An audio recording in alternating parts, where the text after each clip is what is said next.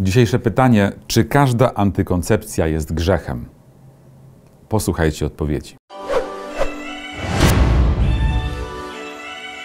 Dzisiaj pytanie zadaje Marcho. Czy każde stosowanie antykoncepcji w małżeństwie jest grzechem? Mam na myśli chorobę jednego z małżonków i obecny brak warunków na poczęcie kolejnego dziecka. Nie zamykamy się na kolejne dzieci, ale nie teraz z powodu choroby. Ponieważ jest to pytanie, na które zasadniczo księża się chowają z odpowiedzią, to jestem właśnie schowany pod tym kapturem, żeby. Bo tak jest. To jest temat y, antykoncepcji w małżeństwie, mówimy. Nie mówimy o antykoncepcji pozamałżeńskiej, dlatego że wtedy mamy grzech cudzołóstwa. I to, czy ktoś dokłada y, antykoncepcji, czy nie dokłada, nie ma tutaj znaczenia co do wielkości grzechu. Po prostu jest grzech cudzołóstwa, jest grzech zdrady, czy to dlatego, że nie ma ślubu, czy to dlatego, że jest seks pozamałżeński, poza ślubem. I wtedy antykoncepcja, no, jak ktoś ma, głowę, no to ją stosuje, no, żeby nie, po, nie zrobić jeszcze więcej, większej krzywdy. A także tak na to należy patrzeć. Natomiast mówimy o antykoncepcji w małżeństwie, która co do zasady jest zła.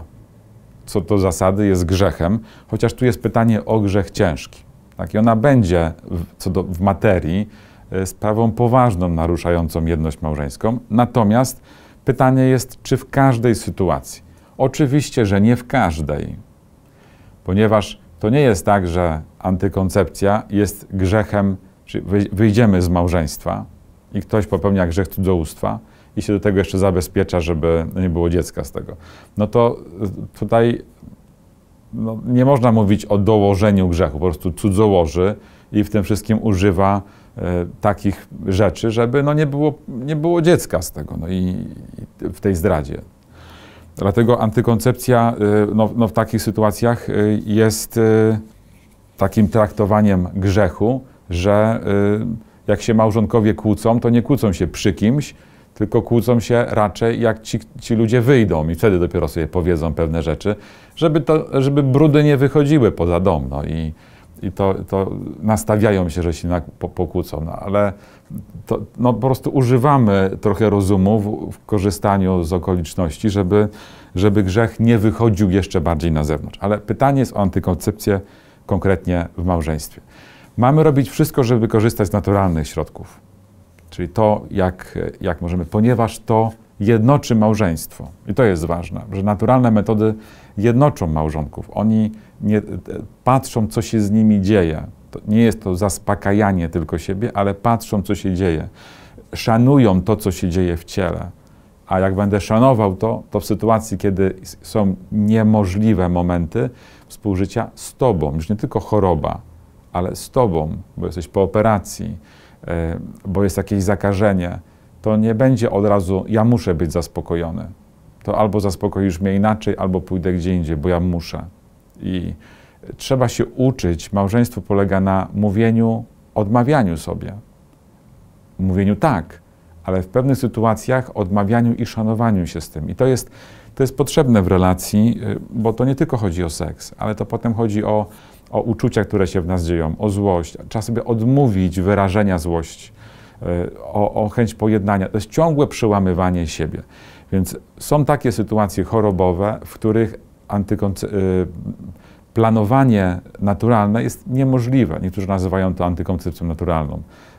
Trochę to słabe, ale y, więc naturalna metoda jest niemożliwa do zastosowania i w takich sytuacjach, ale takie sytuacje trzeba omówić, powiedzieć o tym księdzu na, na spowiedzi. Mamy taką sytuację, żeby sobie za łatwo na to nie pozwalać. I czy w tej sytuacji mi się wydaje, że można, możecie powiedzieć. Czy ksiądz uważa, że tak samo? I, no i są sytuacje, w których antykoncepcja jest, y, no bo inaczej się nie da regulować poczęcia.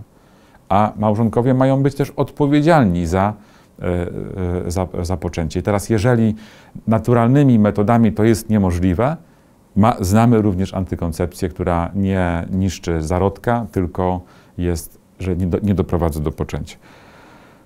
To jest moja odpowiedź na to pytanie. E, Także nie bądźcie tutaj zbyt po, pochopni w decydowaniu, a okej, to w takim razie. Tylko lepiej każdą sytuację skonsultować moralnie, czyli z księdzem w konfesjonale, zanim podejmiecie takie działanie. I jeżeli nie ma możliwości naturalnego planowania rodziny, no, podejść, szanować swoją biologię, bo coś się dzieje, to są też inne metody, ale trzeba na to patrzeć e, po rozmowie z kapłanem w konfesjonale. To jest moja odpowiedź na to pytanie. Nie wiem, czy kap teraz kaptur powinienem jeszcze zrobić tak, czy mogę go zdjąć. To, to już jest tutaj Wasza też ocena. E, Piszcie komentarze, co uważacie w tym temacie. E, Zdanie, które Wam powiedziałem, nie jest tylko moim zdaniem, ale to jest zdanie bardzo wielu kapłanów, z którymi rozmawiam, ale znam też takich kapłanów, którzy twardo traktują nie, grzech i koniec. I też tak powiedzą i no i co? I tak powiedzą. Dzięki za wysłanie tego odcinka. Kciuk w górę, subskrybujcie nasz kanał i pamiętajcie, że stworzyliśmy nowy kanał tylko do transmisji. Mocni w duchu live, tylko do transmisji z naszego kościoła.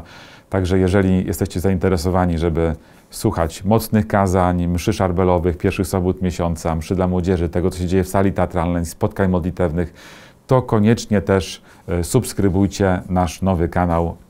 Macie tutaj do niego link i e, tam naciśnijcie dzwoneczek, będziecie informowani wtedy. On wystartuje, jak będzie 10 tysięcy subskrypcji na tym nowym kanale, to od razu przesuwamy z tego kanału na tamten wszystkie transmisje, oprócz mszy świętych z modlitwą o uzdrowienie.